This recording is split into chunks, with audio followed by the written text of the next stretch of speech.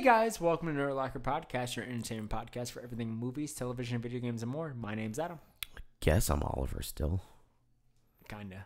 All right, guys. So we are going over the season finale of The Boys, and guys, this one was Oh. ridiculous. This was crazy shit. Like, this was a really There's a good lot season. going on. I think it was a good season. Overall, was good. good. season. Yeah. A lot of fucked Some of it was a little too much. A lot of fucked up moments. So we got like we got more of the shapeshifter with Starlight and how she kind of like basically raped Hughie multiple times and proposed to him. And it took a while for Hughie to like kind of catch on. He got little glimpses, but like eventually caught on to that. And then we see that the shapeshifter had to go back to Starlight to like reinvigorate. Yeah, right. And guys, we're gonna go over like bit by bit, quick as hell, uh, to go over this because we are tired. Not only that, but we also have a next week, which is gonna be Deadpool, where we're actually I have a monitor. Now he has a monitor, so get ready for some longer form podcasts starting next week. Um, so, anyways, going into more of the uh, details of this, we get uh, Robert Singer about to get into office, and in this interview on the news, we have Firecracker, Homelander, and Neuman, and Homelander outs Neuman as a supe, which Neuman's On like, public "Oh, fuck that, yeah, Live television. fucking nuts.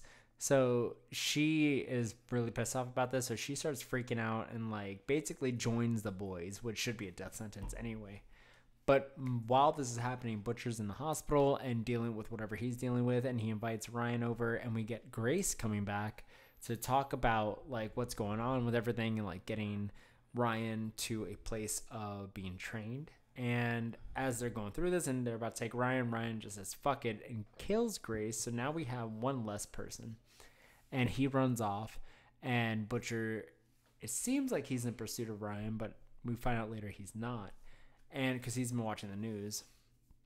So while this is all going on, Homelander gives the rest of the seven, and by the seven I mean the four, Yeah, they aren't the uh, seven. yeah, instructions to kill everyone that knows about this stuff. So the Deep, Noir, and Firecracker go off and just fart, start fucking Going off on this people, list. dude, just n- killing everyone.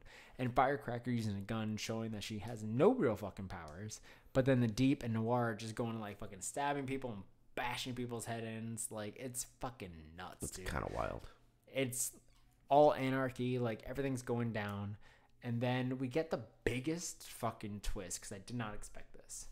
So neuman is going through and like joining with the boys and everything and then all of a sudden we get butcher coming up after getting out of the hospital and he's like i will take care of this. And kessler i guess this tumor tentacle thing like takes over tumor comes personality out or of something? butcher and just rips neuman apart RIP Neuman, dude.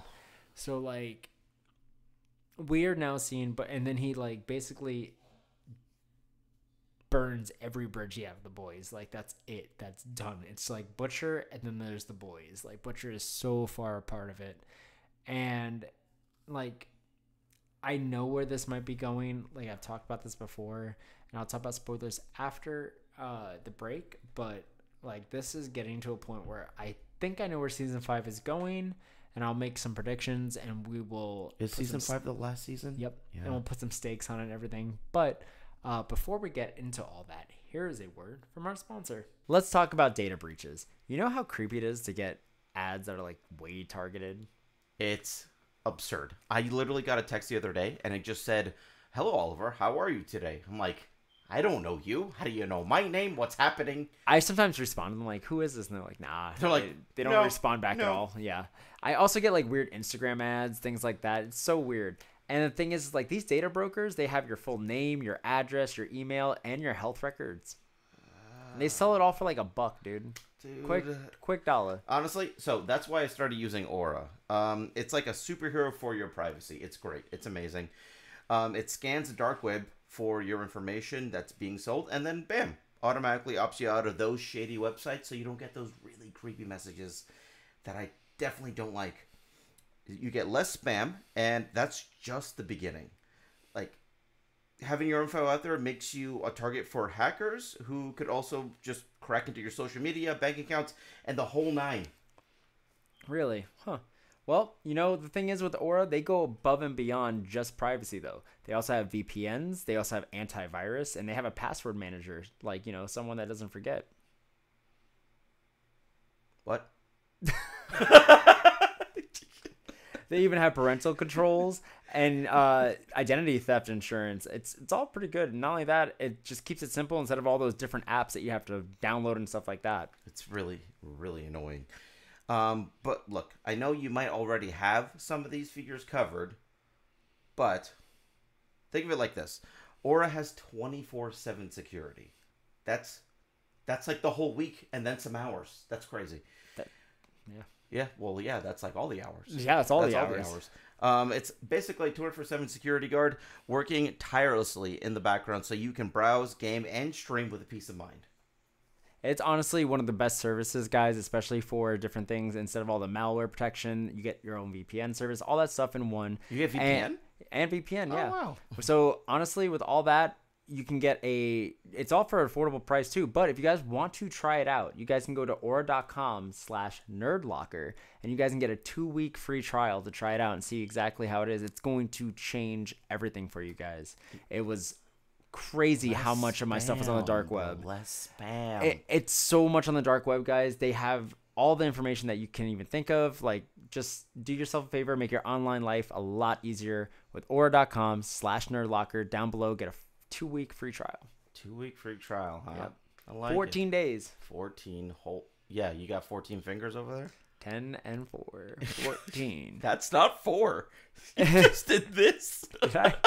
Pick number three, my lord. And we're back. So I want to talk really quickly about where this could be going. So without getting into like my review of the season in general, again, I've talked about this before, guys, but minor spoilers because they could pivot so hard at this point with everything like Neuman dying That was crazy. is not really something that happened in the comics. It really? down. Oh, okay. That's good. I like so I think like okay, so spoilers. If you don't want to hear anything, skip ahead about two minutes. I'm gonna try to get this wrapped up in two minutes. But in the comics, Butcher goes fucking nuts like he is now. The difference is, is when he took the temp V, he kept those specific powers. It wasn't like a tentacle monster coming out. And with his powers, he decides, "Fuck this! I'm just gonna do what I gotta do. I gotta get people on my side, but I also have to show like like he just goes to like dude hits the wall so hard. And in the comics, he ends up confronting Mo- uh, MM's s- uh, wife or. Oh, ex-wife okay. and his daughter, and kills both in front of MM, Damn. and then kills MM afterwards. Shit. I don't know if that's where we're getting to, but considering there's one more season and you have to wrap up so much, it's like he's going down this big road. I think that's where this is going. And if they don't give it to MM and his family, they could give it to like Frenchie and Kimiko. Like in the same way of like watching someone die and then you die as well. Hello. Oh, hello. Okay. You leaving? Well, yeah, we're recording. Okay. Okay. Good night. That was That was Grandma's Sphere that was over there. Oliver's uh, grandmother. yeah. Grandma's Sphere. Grandma's hanging out. Sphere. She's staying in the next room. Um, but yeah, so like I think like that's where we're headed is Butcher doing some fucked up shit in the next season. Like he is so far past gone, and I still think we're gonna get Jeffrey D. Morgan, and uh, like we said before, there's probably not gonna be a situation of a scene between him and uh, Soldier Boy unless. Jeffrey D. Morgan's character Joe Kessler was around during the Soldier Boy I don't think there's prior gonna be that. that's the only way I could see it happening. But we don't know who exactly like because Butcher kind of like did a lot of missions without knowing the details of it back in the day. so it could be easily like him and Kessler are fighting. He leaves Kessler for dead, and like Soldier Boy shows up and kills Kessler, Could be. and that could be the person that killed him. So there could be that kind of uh, dynamic. And like going further into this, like next season, we could see more of Maeve because we know she's not dead. She just faked her death. So like she's still out there. We have a lot of different like characters and stuff. We know Jared Padalecki's coming back or coming into the se- or the series next season. So there's a lot of like potential for all that stuff. And then also the other big thing from this episode before we get into our rating is fucking uh Ashley. Yeah, that was so crazy. Ashley was on the top of the list to kill. They couldn't find her because she ran off and took Compound V. What the fuck could this? and we haven't seen it yet. I have a funny feeling we're gonna see whatever happened with her in Gen V season two, because we know that uh, R.I.P. Chance, the one that played uh, right, the guy who gets super hot. Yeah. Oh no, the metal. Oh yeah, the Yeah, metal guy. he Yeah. did pass away in real life, so they're going to acknowledge that his character passed away in the show. They've confirmed that. So, however they do that, Mm-hmm. So not doing whatever they want to do. Because we did that. get to see two of Godby's those two um, golden students come and like arrest Frenchie and Kimiko. So Right. like they are still very like readily into the series in a very smaller part as of right now. But I think like Gen V season two is going to really bring them into the forefront and like combine these two together. So like as much as season five is the last one, we're kind of getting like a season and a half because I feel like Gen V is going to be more connected When to does the that boys come out? Do we the have a release date was. for Gen V season two? I don't think there's a confirmed date, but I do know it's going to happen before Boys season five. So it'll probably be like a I would hope so. spring show and then go into summer of Gotcha. Boys Ooh, season okay. five. So we got like a little bit back to back. So we got like a couple months, but I think we're gonna get like a lot of boys content this time next year. Gotcha. So um, I it just depends on how quickly they could film it because Mm-hmm. it did take two years for them to film three to four, but I think they were already filming season five in contingency with Gen V season two. So like hopefully it'll be pretty it's soon be after. back, probably. I so what do mean, you rate it? overall, okay, I rate this episode a six point five. Okay. mainly because of like yes there was some crazy shit that went down but at the end of the day i'm like ugh this is not episode four i think episode four spoiled me like with homelander going back to where he was like that was that was the boys like that was the epitome of the Mm-hmm. boys because it wasn't like too much like off the wall i wouldn't say just sexual stuff but like off the wall We got some like root stuff Yeah. there. whereas everything like five six and seven were very just like craziest shit you could put on television with that in mind whereas So- like eight was very docile so there's that so what do you rate this episode What? before we get to the season? I rate it an eight. okay Um, the action was great. The surprises were great. The animation was obviously good. I like the story a lot. Uh, I just still think it's a little too much, yeah just for someone to watch like an hour long episode on a lot of fucked and the up name shit. of it season four finale Real creative. I want to be a part of that marketing Yep. team. Seems like they got off like at 12 p.m. So I think overall this season, like compared to the others, I don't count season one because I think season one is not fair because that was like big to everyone. So two and three and four, I would rate this a probably an overall eight, and that's because I think there was more good than bad. But at the same time, I feel like the good could have been better. I'm gonna do a seven. Okay. I liked it a lot, but dude, there's so many dicks. so many dicks. God, man, So many. I could have done without. Yeah.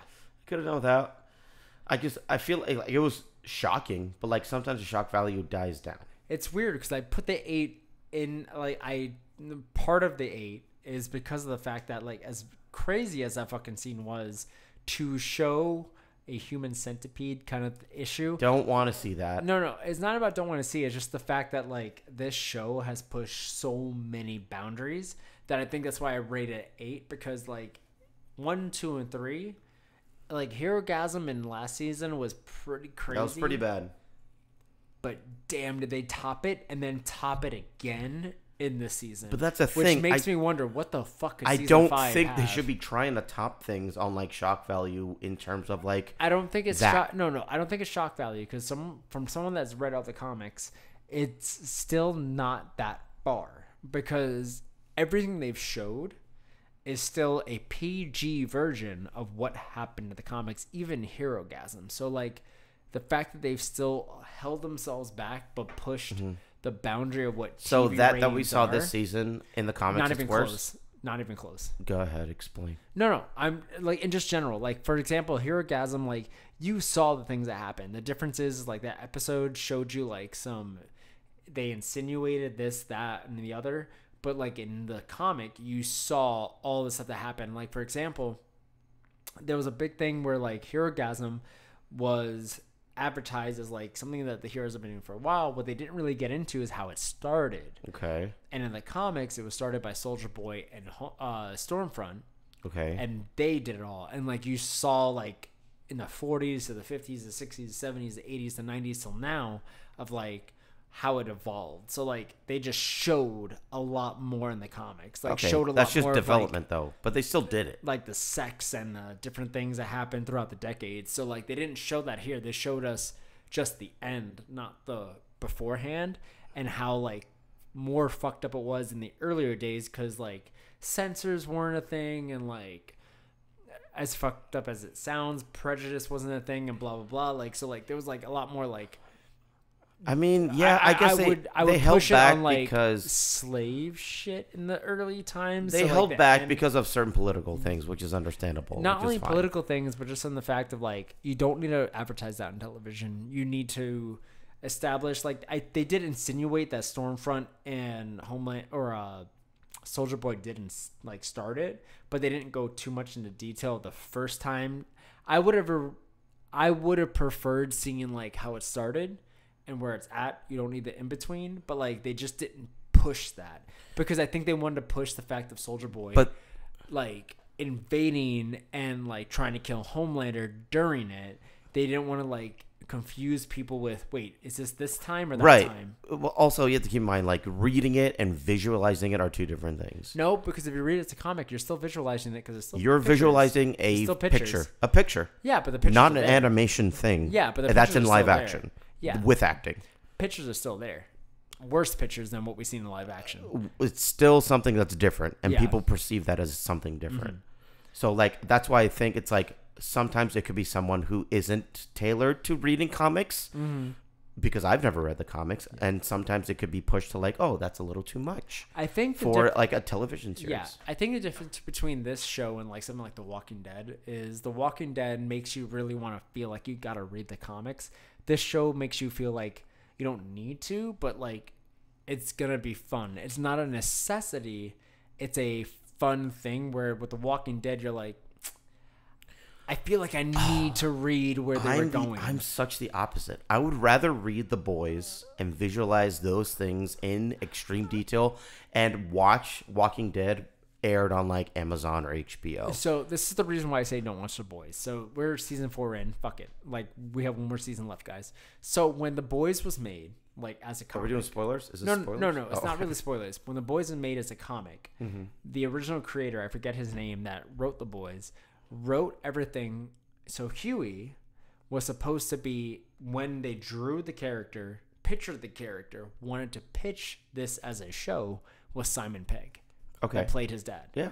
Okay. So Hughie already was a completely different age because it's like add on another like seven years. Like this was supposed to be a much older Hughie. Mm-hmm. So they went so far out. Whereas with The Walking Dead, everything was the same in the first season except for two d- key points: Daryl Right. I remember. and the CDC. That's the only two told me that. differences. So like there was a lot there, not too much. And then season two, the only big difference overall in the arcing overarching season was the fact that Shane was around, where he wasn't right. around in the farm. and he wasn't Yeah. around. I remember. Season three, pretty much like tit for tat everything. Season four, to the last two episodes, tit for tat everything. It was a terminus thing that was kind of different because the only difference was in the comics, it was just a camp. It wasn't like a full community that was cannibals. It was just like seven people. But the same thing of like ripping someone's throat out, which they push further mm-hmm. into the storyline. So like a lot of that stuff like kind of still seemed that way. Walking Dead didn't divert fully until season nine. Okay. Like le- legit until Rick left. With this one, they haven't diverted for fully until halfway through this season. And I think that was the Black Noir twist. Like when they decided to like bring back Black Noir, but bring him back and then show his face. That was the big divergence. So I think like with The Walking Dead, you still had three or five seasons of like, okay, they're gonna try to get back to where they need to go. This one is like, how did they retcon back to the comics in eight more episodes? And I think for me, that's the biggest thing of like, will it hit the mark or will it not? Even as a casual viewer who hasn't seen the comics, it could be a very, very disappointing season, depending on how quickly or how much of a time jump they do. Because they don't need a time jump like years, but they should probably time jump a couple of months. Because right now everyone's still so like babyish. It's like, yo, you're gonna really fast forward through it and piss people off because they don't have any character development, or you're gonna do a time skip try to like recap that in the first two episodes and have a very solid six. But it really depends. Is the next season six episodes? eight? Oh, it's eight. Okay. That's what I'm saying. Like you have two if you do a time jump to establish, and then six to amplify, or you have eight to amplify, and you're gonna really lose people on certain like deaths won't matter as much, and big plot twists don't matter as much if you don't give the time for character development. And like Neuman, I really thought was gonna at least last to like maybe the first two or three episodes of season five. So like she did. they are fast forwarding really quick. And I feel like, yeah, like, oh my God, they killed Neuman. That's crazy. But at the same time, you're like, all right. But that shouldn't be it. Because if you were reading the comic, you'd be like, oh, fuck, they killed Neuman. This is not, this is not good. See that So, I like, didn't that's think the I didn't thing. think the all right option. Like, did you feel shocked by that? Yeah, I was because I thought there was like th- that. That's like one of their options to mm-hmm. kill Homelander because I don't have any knowledge of the comics. And, and but the thing is, like another minor spoiler from the comics is like her daughter never got Gen like V power, so like that's a other big like her daughter. is She's in like a home now. She's her daughter home. is the Daryl right now, like where it's like she could die at any given moment, but she could be very necessary for the plot going forward. So like I saw the daughter get into a, one of those supe homes, mm-hmm. and then we're like, Which was oh, another thing Neuman desperately did not want to happen. yeah, right. And then it dead. ended up happening. Yep. she's dead. Yeah. So I think Hughie's gonna kind of like cohort that a yeah, little bit. that, that's the big thing too. Like Hughie in the comics was always like, I killed A Train. I got everything I need to do with Robin. Like this is it. But now it's like he's trying to fight for Starlight and Victoria's kid. So like this is what I'm saying. Like there's extra dynamics that I hope even when they get resolved are still resolved in a way that like feels satisfying to the audience. But then again, they could plot twist it and do 10 episodes. Like if they're going to finish it out. They haven't announced the episode count. Every season before this has been Has been eight? I wouldn't be surprised if they do eight. And I know the guy that plays Mother's Milk has said like I would love for them to finish this out in a movie. So maybe we do get like a mini Jesus, dude. Amazon movie because these fucking episodes are at least a movie long. So like it's not like it's basically getting a bonus episode. It's gonna be a bonus episode Yeah. two years after the season's up. Probably, yeah. Yeah. Depending on how they finish this all, because like I said, Black Noir was the big thing in the comics, and they have fully said fuck that in the show. So like, I don't know if it could be Ryan. I don't know. don't either. know. I don't know, man. This is confusing now. Like Ryan seems too immature to beat Homelander. I know, yeah, but it would be really cool. He got a he got a unless got a Homelander on. fucking kills this kid, dude. Oh. Unless they, what if they pump him up with V? No, the only thing I could think of, and this is my prediction for season five, Oh, the end of hurry up. season, yeah, the end of season five. I think that if we do get Homelander being killed by some kind of like thing or whatever, it's either got to be a pumped up version of like, Or we, we got to keep adding like more. Dude, if it's what if it's Ashley? No, no, no. I think it's like keep putting like temp V into Ryan, or Butcher.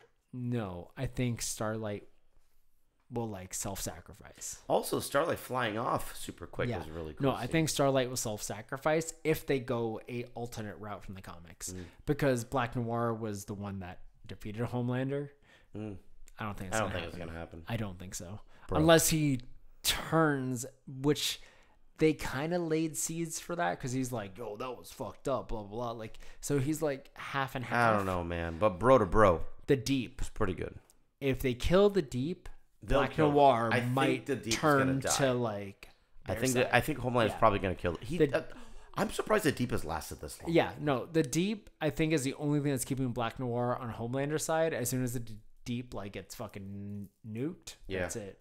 I think that's gonna happen. So, yeah. All right. Well, Anyway, we're done. other than that, guys, season four done. We'll come back next year with season five. Hopefully, where can they find you? You can find me at the Sphere 21 on any social media platform except for TikTok. I'm Oliver Kahn, VA.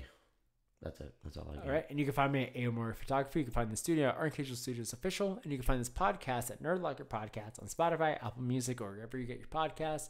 And tune in next week for a longer episode where we will be talking and breaking down everything in Deadpool, as well as announcing what we are doing for the month of August. So get ready, guys. It's gonna be fucking nuts. It's gonna be wild. All right, Lana. How, how'd I do? Bye.